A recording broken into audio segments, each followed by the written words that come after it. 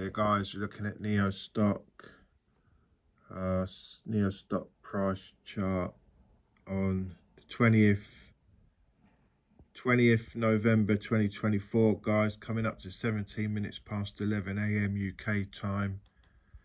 The numbers are out and got a mixed reaction generally, but the stock fell well, it only really fell from the pre-market, from where it rose in the pre-market. I suppose it rose on anticipation because it rose up to four. Well, we're looking at the five minute chart. Let's put it on the one hour chart. It rose up to 480, actually 486, as you can see, the NIO stock in the pre-market and obviously fell as low as 434 which was more or less that you know that level where it hit rock bottom I think twice previously in recent times as you could see. I think it was twice. Let's go on the day chart. Put it on the day chart. And you can see um,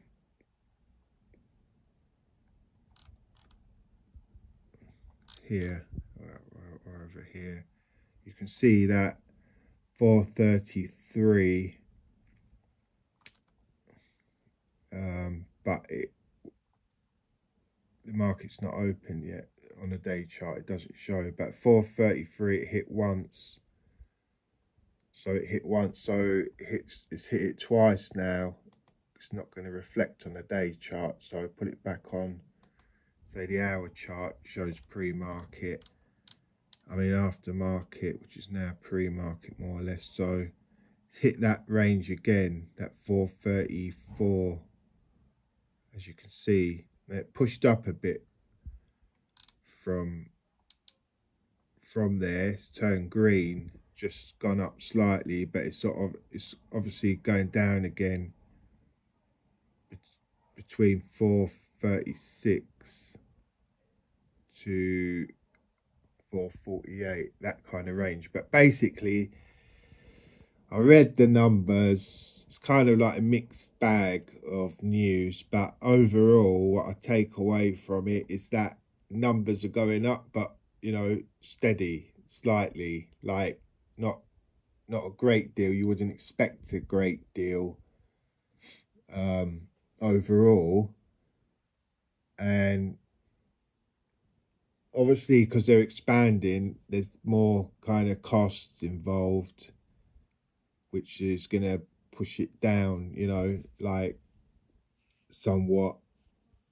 Um, you know, in in in in in, in, in at this stage, at this stage, let's just say. So, yeah, I mean, you know, sales are going up, sales are increasing. Um, overall, overall, if you look at the bigger picture, um, and quarterly, you know, like doesn't look great like if you like you know focus on just short term doesn't look that great but obviously because NIO are expanding you've got to look at the bigger picture and you've got to let it pan out as i say you're not going to expect i never expected great results and i think i expected that costs you know, costs were going to be high, etc. So the reaction thus far is what it is. It's been knocked down again. And obviously, like, the market is going to open in the UK. I mean, you know, not in the UK, I mean in the US, the market's going to open in the US um, a few hours time So we'll see the reaction there. Obviously, if it gets knocked down a bit more, it's probably going to bounce up now the news is out of the way. Don't forget, you got the Firefly coming for, you know, NIO. You got the Firefly coming out December. So 21st of December. So I expect that that's going to be key to increasing sales moving forward. But sales are, already increasing, guys. Sales are already increasing. So it's not an issue about sales not increasing. It's just that they're not increasing as high as people anticipate. Well, it is what it is, guys, basically, at the end of the day. It is what it is. So, you've got to move forward, you know. And the stock price is going to do what the stock price is going to do. People are expecting miracles, right? And miracles don't, you know, don't happen overnight, basically, right? So NIO stock, are you buying the dips? That's the question. Are you buying the dips.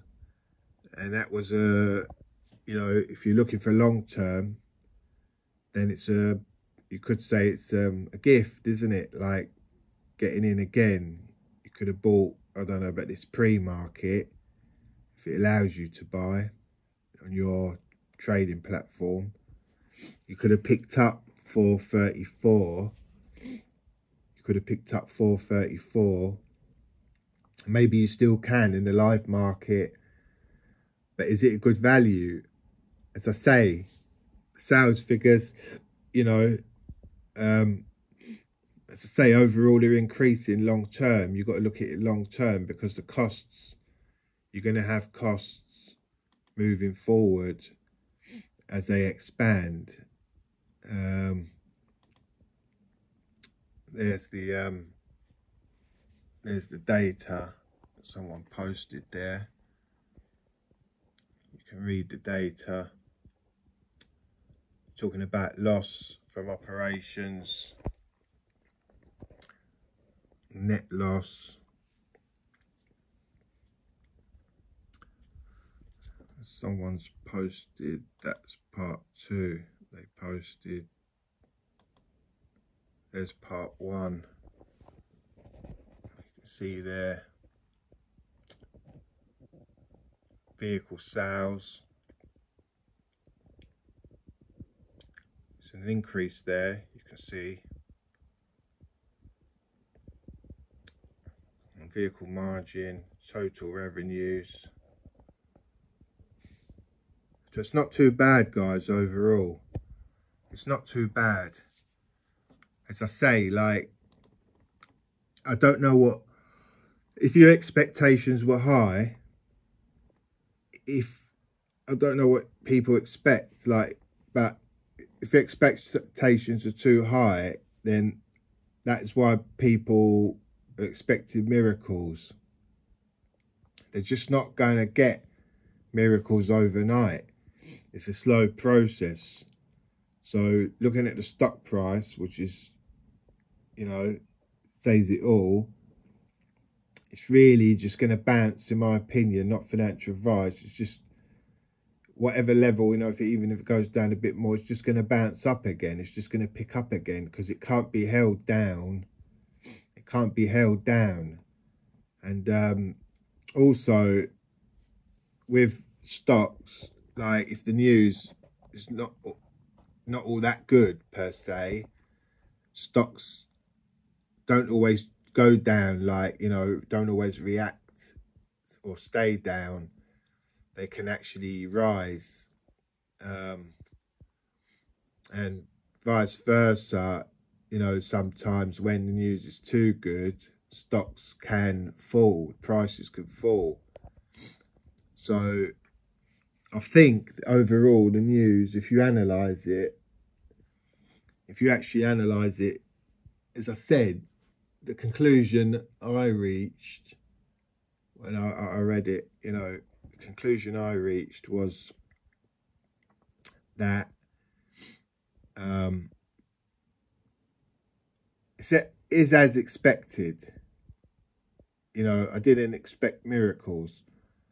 I think, I think I said in my other videos, it's probably going to take to the end of 2025 to see some real boost, you know, boost in profits, boost in sales, boost um, overall, you know, to push it out of the range. And I think that's going to happen with the Firefly and obviously expanding into other countries. Don't forget as well, guys, that NIO's been hit. Like in Europe, we're talking about tariffs. And then they're talking about tariffs in the US because they want would want to obviously sell in the US. So that's kind of halted expansion plans somewhat. So nonetheless, NIOs are still, you know, progressively advancing into other countries, um, which you could say it's going to slow down sales because they, you know, because of the issues with tariffs in the US, etc., etc. But on the other hand, because they're expanding anyway in other countries, they they wouldn't be able to meet all the demand if they went into every country all at once. That, that, and that's the point. They can't go into every country all at once anyway. It's got to be in stages. So it's not a matter of, oh, well, the certain countries I can't go into at the moment because of X, Y, Z issues. Um, so that's bad, you know. It doesn't work that way. Like, you're always going to face obstacles. So what they're doing is a progression. It's, a, it's, it's stages, it's stages, right? It's happening in stages. So NIO are expanding in stages. So obviously they're going to expand where they can expand and then worry about where they can't expand later, which policies might change, you know, about tariffs, etc. So that's where we are. Are you buying the dips? let me know in the comments, guys. Are you buying the dips um, when NIO's dipping? Because you know when it when it dips to this level, you know what happens. It goes up again. You've seen it. We've seen it, guys. Like here, when it went to four four dollars thirty four thirty three, you could have bought the dip there. then what happened? It well, it rose it rose to 486 so what's that? Uh 50 cents basically a 50 cents gain more or less. 50 cents gain from 433 to uh 486 just over a 50 cents gain. Take away the spreads you got maybe 50 cents, 49 cents, whatever, right? Assuming you didn't get in right at the bottom. So let's say 45 cents, assuming you didn't sell right at the top. Say, say like you bought here and then sold around here. So let's say 45 cents after the spreads, right? So if you would have bought the dip, there's a profit there, right? Going, obviously profit going up if you're going short as well, well, you can make money on the way down, you can make money on the way up. And from the way up, I don't know if you would have shorted it back down, you could have made money. But if you're just long, obviously you could have bought in at 433 to 430, you know, upwards, and then sold on this peak here or towards this peak. And then now is another buying opportunity. You call it a dip and you see it rising already. So it's up to, not financial advice, but are you buying the dips, even if you're not selling uh, when it goes back up? Are you buying the dips to, to hold? You know, diamond hands, guys. Let me know in the comments. Um, you know, are you riding the wave? Are you riding the wave, loading up on the dips to get in cheaper, to buy more? To lower your average or buy more cheap prices. And 434, around that sort of range, 450 whatever. It's it's only 50, 30 cents or 50 cents higher than it was sit when it was sitting around four dollars. So it's it's it's really cheap considering how high it could spike to. You've already seen 770 with NIO stock, you know, rising from about three three uh, 370 370 to 770 so you're seeing it like push four dollars guys you know?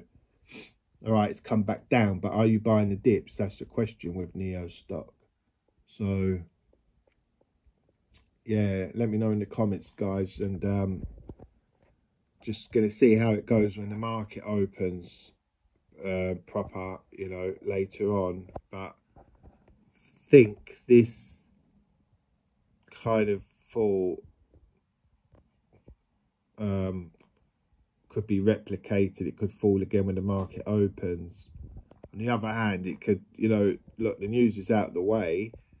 And I think clever, you know, the, the clever money already probably anticipated the, the, the, um, the results, you know, the numbers. And as I say, it's a long-term play. Don't expect miracles. So let's see what happens, guys, later on when the market opens proper. But look, you know, sales are increasing and they're going to obviously increase more as NIO expands. NIO really, they're not in a lot of countries like they're not in a lot of countries in Europe, right? They're only in a handful of countries really in Europe at the moment.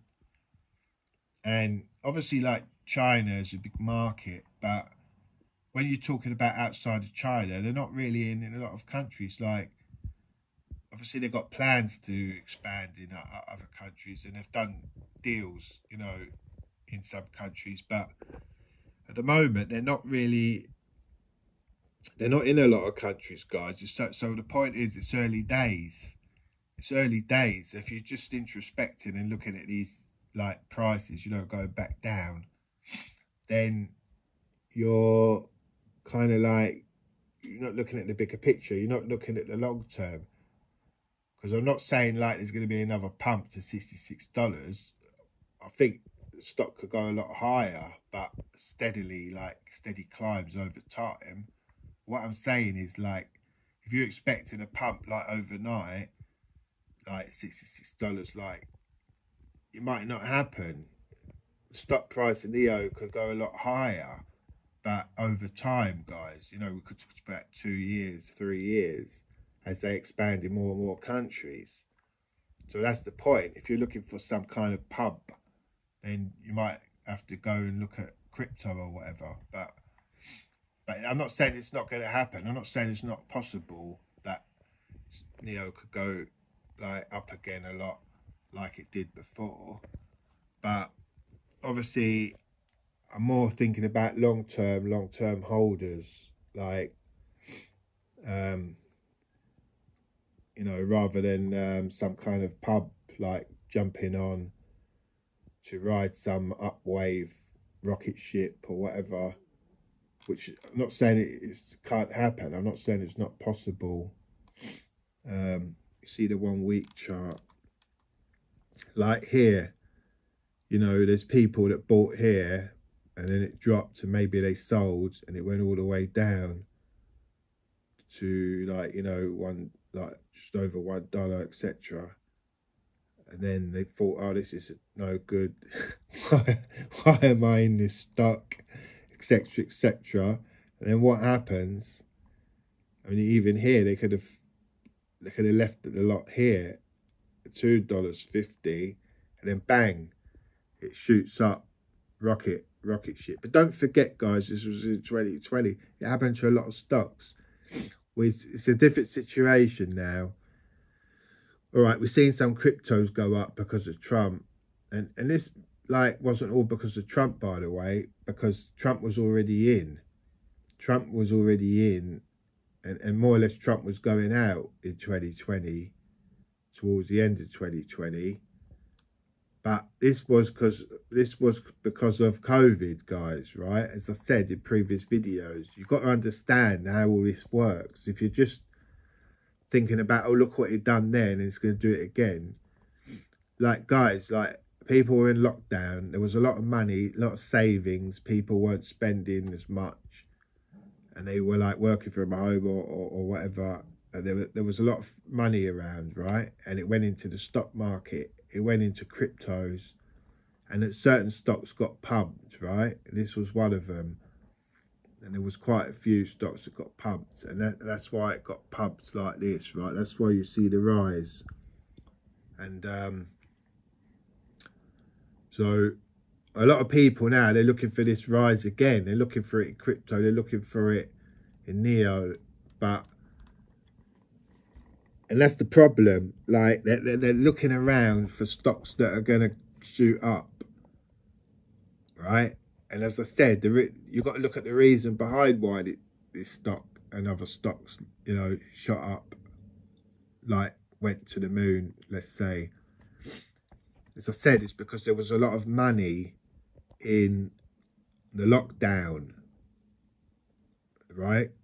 And that's where the that's where the money went now, if you say if you if you say right, this kind of spike's not going to happen again, which is a pump and dump, really, then you've got to look at proper growth, right?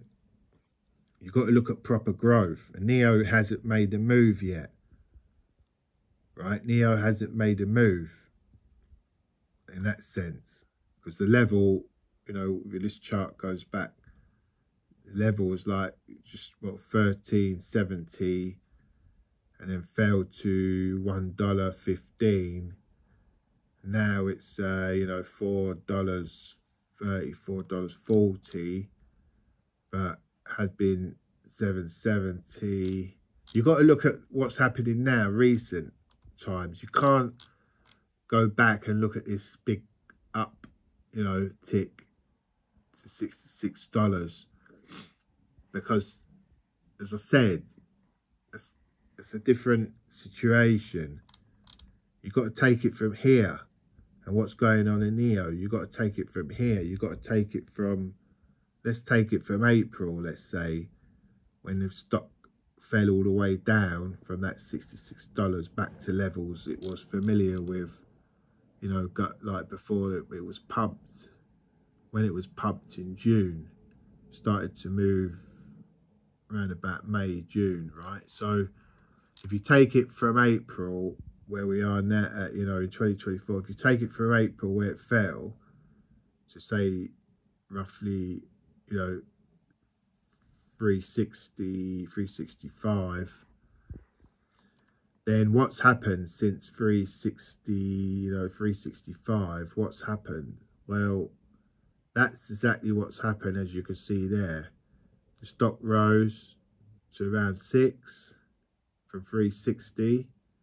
That's two, 250, 240. Then it fell back down again to 370 and then it's pushed up to 770 now it's back down again. So that's what's happened if you take it from april right? So if you take it from april you can see generally the stock is moving up right? If you if you point it here 360 365 if you can visualize it you can see the actual stock is moving up. It's, it's don't say go from here to here but if you take it from that point there even to where it is now you can see that it's a gradual although it doesn't look like it it's a gradual um, increase, gradual increase, if you forget like these peaks here. Um, so that's where we are. If you take, if it's to say, if you take it from April, that's where we are.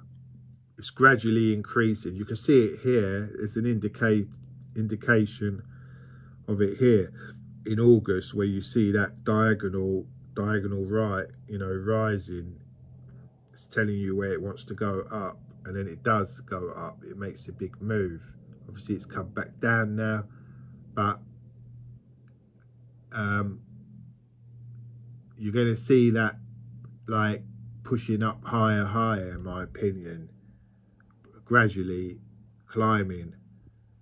Um, but it's not ready obviously to make the move yet like to leave this kind of area you know this zone. It's got it, it left it here but it's come back down.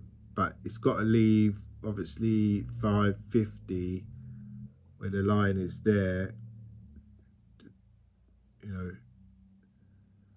white line it's got to leave that 550 you know area